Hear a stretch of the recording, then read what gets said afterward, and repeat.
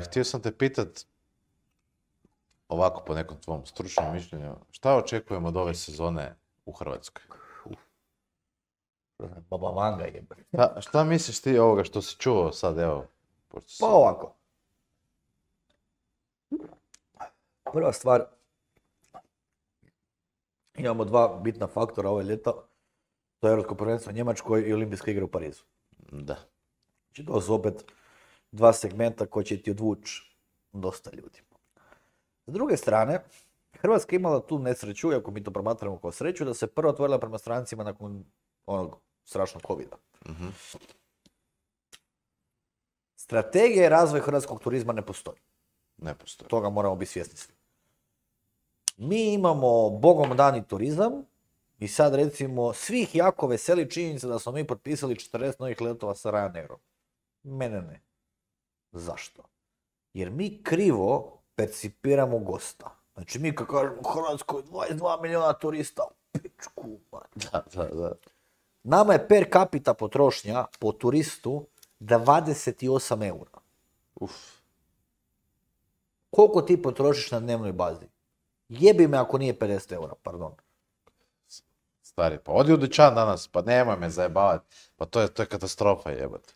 Pa to je preskupo, mislim, Evo, ja ću ti dati direktan primjer evo sad trenutno, evo kako radim te zemlje, ljudi ću za primjer jednu Grčku koja mi je dosta bliska. Znači, ja sam prošli tjedan imao field visit i odradio jednu Kretu. Kreta, kao jedan otok, doduše velik otok u Grčkoj, ima 8 milijuna turista. Kreta, kao jedan otok. Per capita potrošnja otoku je 55 eura. Zašto? Druga stvar, koju sad ću se navezati zašto, Kreta ima all inclusive rezorte od 5 zvijezdica koji danas koštaju 400 eura. Jasno je mi je, hrvatska inflacija, cijene, milion nekih stvari. Mi u Hrvatskoj u špici sezone plaćamo 500 eura u hotelu za šta? Svaka čast, imamo predivnu zemlju, predivne ljude, imamo heritage, sve mi imamo. Ali kad se kompariramo sa našim direktnim konkurentima, koji investiraju u taj turizam, naše sreće što imamo ve- velike hotelske grupacije koje to opet dižu na neki svoj nivo. Mislim, da se ne lažemo, Venecija kao grad ima više turista od cijele Hrvatske. Jedan grad. I onda se vraćamo na onaj Ryanair koji sam prije rekao. Znači, mi imamo pritisak od 1.6. do 15.9. Ljudi, infrastruktura, autoputevi, hoteli, nabava, dobava. Mi nemamo dugoročnu strategiju turizma da ti možeš reći, ne znam, A mjesta, ajmo ih staviti u kategoriju A, neka to budu Rovinj, Opatija, Dubrovnik, Hvar, Split. Karikiram, apsolutno ne. Da mi propišemo da u tom gradu moramo imati kategorički 50% bistroa, 20% vrhunskih lounge barova, 10% coffee shopova i 20% koktel barova. Primjera radi. Mhm. Ti ćeš ti onda destinaciju kao takvu dić na visok nivo. Evo, ja kad sam na Vigo, glup primjer, uzet ćemo za primjer Nicu. Ja sam znao da je u Nici, u portu gdje mi dokiramo šta nije Nica, je espresso euro. A sam isto tako svjesno znao da ako idem u centar Nice, da je taj espresso 5 eura. Mm. Mi to nemamo. Nemamo, da. Jer ti ćeš u centru Hvara, u jednom lokalu koji sam ja često si spio alkoholna pića i kave, platit kavu još uvijek 2,5 eura. Znači mi se dičimo time da ćemo postati neka destinacija, a mi gradimo hostele. Da, da, da. Hvar, primjera radi, na kojem sam ja bio prije 12 godina i danas. Čast iznimkama, opet ponavljam.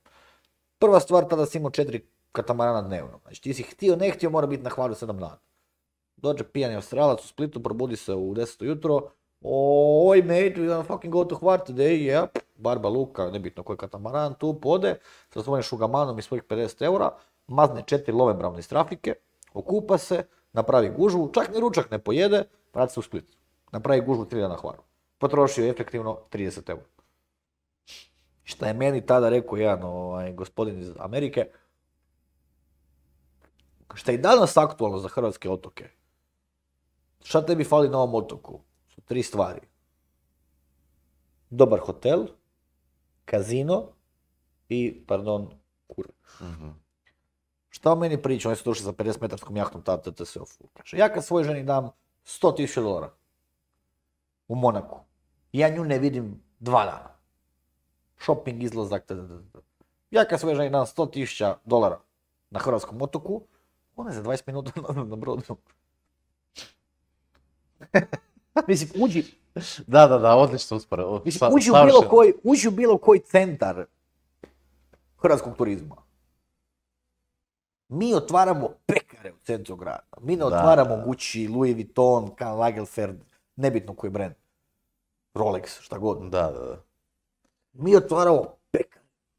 Znači kako je destinacija koja može egzistirati, ići napred, izbiti sama sebi novce, odi u Italiju, bilo di. Evo uzet ćemo za primjer Firencu.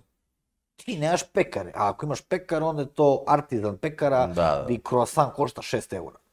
Ali oni rade na tome da ti trošiš novce u restoranu, bistrovu, hotelu. Ti i ja smo Da. sad došli, ušli smo u Dubrovnik, otićemo u prvu pekaru, po, poješćemo kiflu, ti 2 eura, ja 2 eura, sješćemo u trafiku do, kupit ćemo pivu za 2 eura, ti i ja smo stari u Dubrovniku potrošili 8 eura. U Dubrovniku. U Dubrovnik. A zato mi otvorimo pekaru na Hvaru i onda je pizza, štrok od pice, pet banki, eura i dobro. Jer ljudi nisu Mi imamo Louis Vuitton picu iz pekare. Eto, Louis Vuitton pizza iz pekara, ovo ćemo patentirati. Kako smo ubili je. Mi, Znači, jer, jer u Hrvatskoj je generalni problem što mi ne shvaćamo skupo i luksuzno. mhm, skupo i luksuzno. Luksuzno, kako plaćam jastoga ili škampa na otoku, znam šta plaćam. Momi inače kad odam preko sezone kao slikaju račun. Majko ti jedan pojesi 8 kila ono bijele ribe i evo ti CC 1000 eura. Evo, Da. nemoj zajebavati. da, da, da. Luksuzno, jer i ti planski ideš doživjeti onaj experience o kojem smo pričali ranije Da. i trošiš novce. Skupo je platiti jebote čevapčiće 20 eura. Da je to vrhunski čevap, smjesa, top.